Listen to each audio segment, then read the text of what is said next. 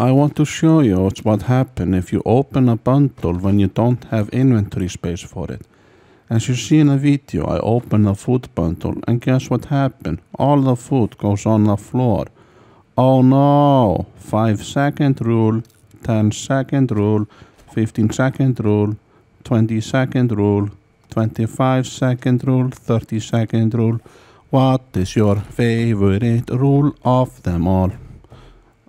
Wow, so make sure you have inventory space if you open bundles. All, all the bundle stuff for Reno will go down on the ground Reno. Oh no, not on the ground.